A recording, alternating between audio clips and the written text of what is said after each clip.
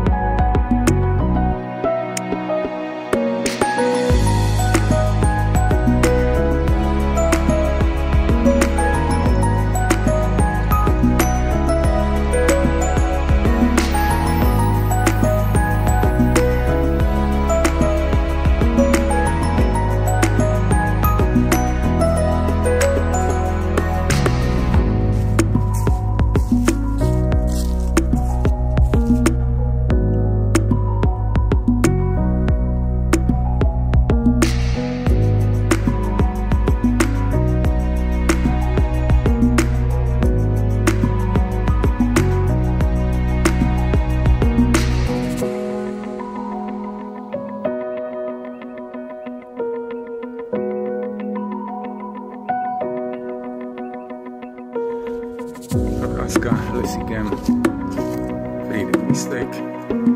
Rostou nějaké houbičky, ale hlavně se